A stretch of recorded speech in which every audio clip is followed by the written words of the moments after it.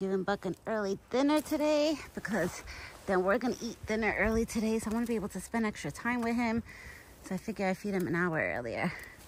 Right, big boy? You ready? Look, you strawberries? Yeah. I got strawberries for you, my big boy.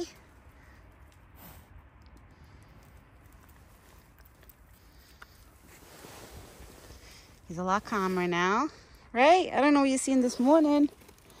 I don't know what you seen this morning. There you go. I got the squash for him. The acorn squash. I'm going to cut it up for him tomorrow because I want to get the regular butternut squash like out of my fridge. So I figure I'll give him the last half. Right, big boy?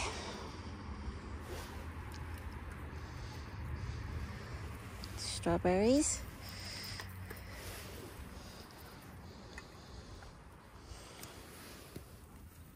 I know you were gonna eat, you want to eat on your own. I knew it. I knew it. I knew my big boy wanted to eat on his own. You enjoying your apples? Mommy's gonna have an early dinner today, so that's why I figure I feed him early because by the time I come out after dinner, it's probably gonna start getting dark out. Because we're gonna have dinner today at four o'clock. So if I was to come out after, then it'll be like almost five and it'll be dark out. Right? So at least I could feed you while it's still light out before it gets dark. And spend extra time with him.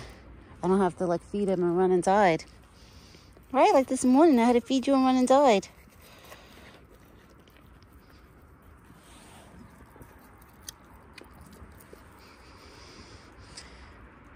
I filled up his water bucket. Like I put more water in his bucket, added more corn. He still had some of his morning corn, which I scattered it some on the floor for the little ones. But now he has a fresh scoop of corn in his bucket. And the strawberries and the apples. Right, my big boy? You much calmer?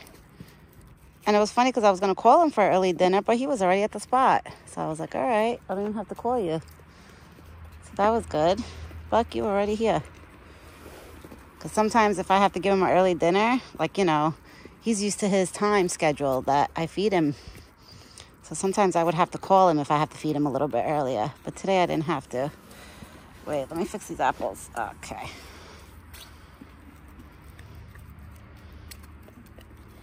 Good boy. Yeah, baby.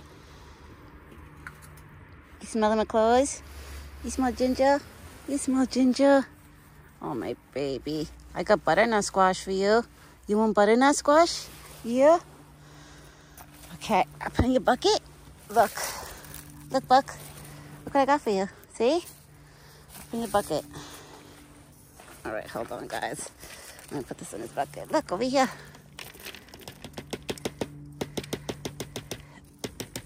Okay. You got your butternut squash. This is like a peel, so I'm just gonna throw it and he could have fun with it later. Because the peels that I threw yesterday, they're gone. So I don't know if, I'm sure Buck must have ate them. Okay. Now you can eat. Yeah, he likes the butternut squash. Tomorrow he's gonna try the acorn squash. And it's so cute. It looks like a little round pumpkin, like a little green pumpkin. So tomorrow I'll give him that. Make him try that.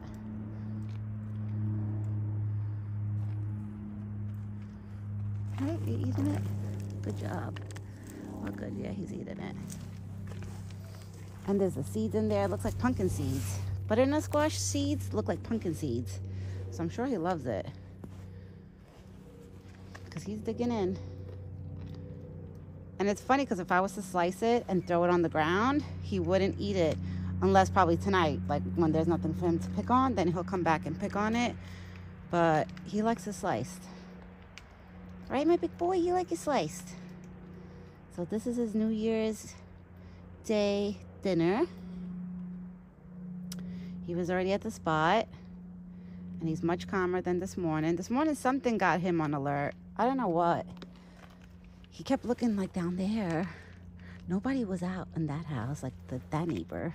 They weren't outside this morning, so I don't know if there was like another animal that he spotted. I don't think it was a deer because usually if there's another deer, he'll run like towards them if he spots like a new deer in the forest. Like he'll go and check it out.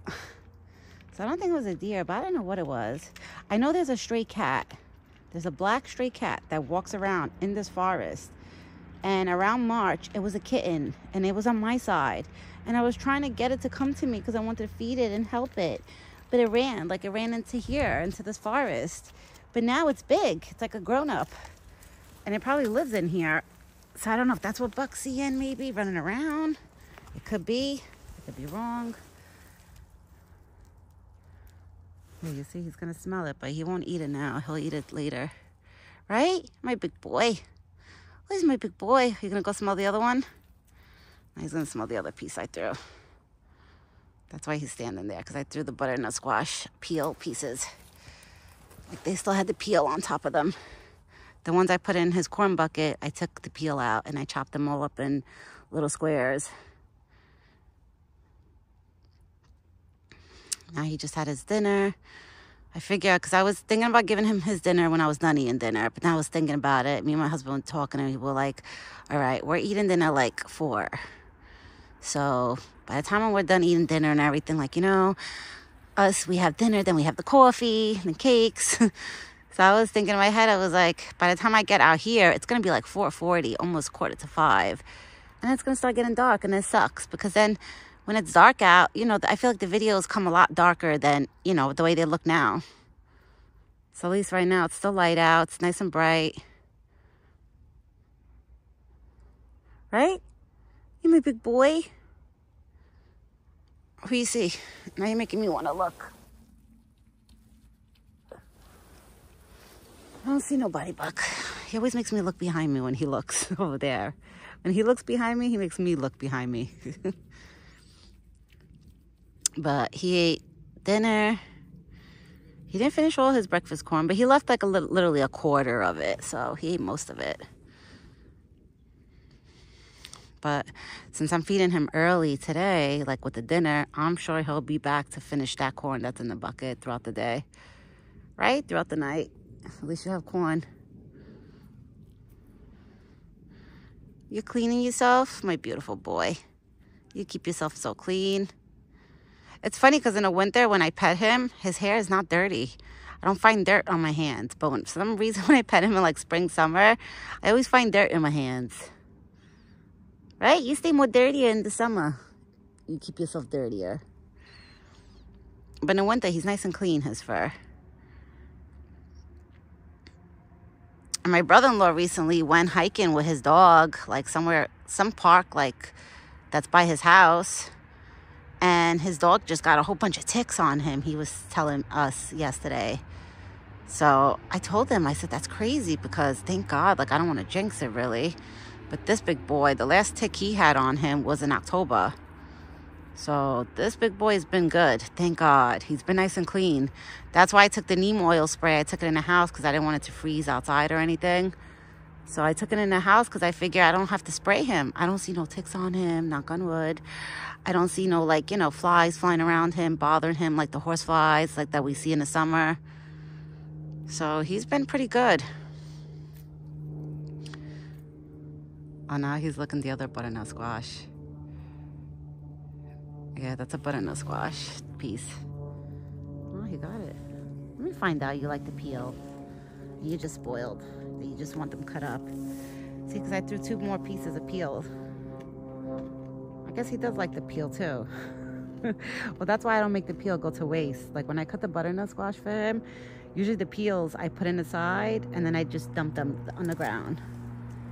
And then the ones that I cut up all in slices, I put with his corn because he's spoiled. Right? You're a spoiled boy. It's funny, when he cleans himself, when he grooms himself, I meant to say, his hair sticks up like that because his hair is wet right, right now because he licked it. So that's why his hair looks funny like that right now, if anybody's wondering. That's because he was just grooming himself. It's so quiet outside today. Everybody's probably home relaxing, you know? Like us, we're not having too much family coming over today just one of my husband's brothers are coming over. So it's not going to be like yesterday. It's not going to be like a full, full house. And today my husband is off from work, so it's nice, you know. Today for us, it feels like a Sunday because my husband worked yesterday and today he's off. But today feels like a Sunday for us. Not that he has off on Sundays. My husband always works on Sundays. He's only he only has off on Saturdays. But just because he's off today just feels a little out of place. Like, what? It's Monday and you're off? But I told my husband I was like, this week is gonna go by fast for you because you had off on Monday on Monday. Right, Buck? This week is gonna fly by. It's not that cold out like it was this morning was a little chilly out now it's not that cold. I'm hearing that in a week from now or two weeks from now, we're supposed to be getting snow. I don't know. That's the talks. My cousin was telling me that too because she watches the forecast and she doesn't live too far from me. She lives like a half hour from me. And she told me that we're expecting snow in a week from now. I don't know if it's next Sunday or the following Sunday. Something like that. But there's supposed to be like a mini snowstorm coming. Right, Buck? What happened, big boy? Again, you have him looking at the spot over there. Now he's looking straight again. But at least, thank God, like he came up to me, he ate, like, you know. I could tell, like, he's not on alert where he's scared right now and nothing. He's relaxed. It's just, he's just looking. But I don't know what he spots that's straight down. I don't see anything. But he must spot something. He must see or smell something. But I feel like sometimes even the squirrels, they prank him. Because the squirrels, when you have two, three squirrels running around in there on top of the leaves, they make like noise on the leaves. It kind of sounds like almost if there's a deer, like, you know, running around. When you have like three, four squirrels running around. Oh, there's banging. I hear banging. I think that's my neighbor on the left. Not this house. Like another house that's this way. It's okay, big boy. They're not coming here, so you're good. You're good.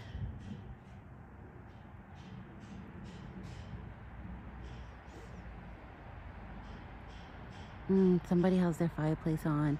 I love when I can smell the fireplace from here, from this spot, because it smells so good. The burning wood, it smells so good.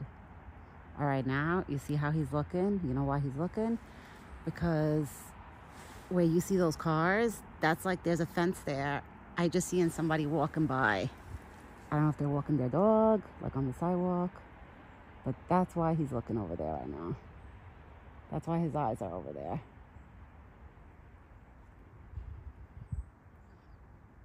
there. Buck is like, I hear noise all around me. I know, baby. You hear noise all around you? And Buck gets very territorial when people walk close to the forest. Like, especially when he stands here. Like this morning, after I was done making all the videos, he was watching like bikers pass by and stuff, like going straight down. And he was kind of like stomping his feet a little bit. And I was like, look at you. He's like so territorial of this area, like of his home, you know?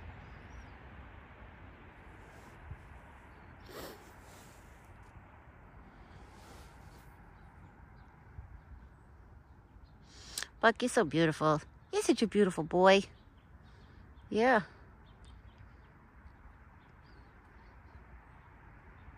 At least he ate. I'm happy he ate.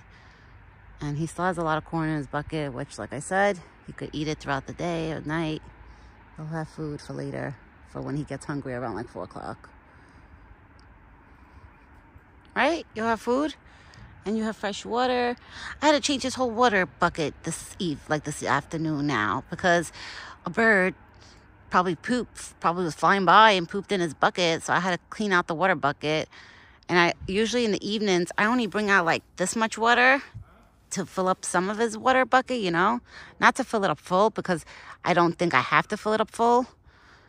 But I had to empty out all the water, wipe his bucket down, the water bucket, and then go inside the house, get a new batch of fresh water, and pour it in his bucket. Because I would never leave bird poop in his bucket or any type of Like in the summer, sometimes I'll find like a worm inside his bucket. I don't know if it's the birds that carry in their mouths and then they want to drink water and they drop it in the bucket or while they're flying, they drop it. I'll find worms. I take those out of the, like I'll clean out his whole water when I see things like that. I don't leave his water dirty at all. I don't care if I see like a little corn kernel, like, you know, if there's a corn inside the bucket of the water, I'm like, all right, whatever, that could stay in there. But if I find bird poop or worms and bugs, stuff like that, uh-uh. Right, Buck? We're not going to have none of that in your water. No, no. We give you clean water all the time. So sometimes I have to change his water and put clean water twice a day, like morning and evening. Today, I, it was one of those days to give him fresh water twice. But it's okay. He's stretching. Look at his tail, so beautiful. He's stretching, my big boy. You stretching those legs? You stretching your strong legs? Who's my big boy? You're my big boy?